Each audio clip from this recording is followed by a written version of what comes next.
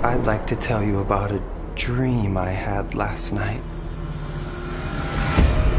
In my dream, the hiss had broken free of this prison, this house. At first, many people thought it was horrifying. But also, many people wanted to welcome the hiss in. Funny.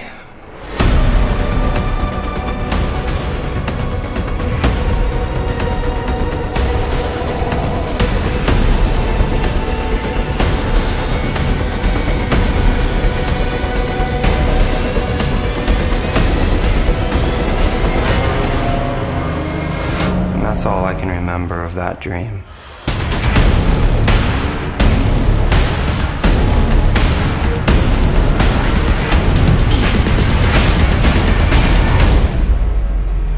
This is an ordinary song about an ordinary girl from an ordinary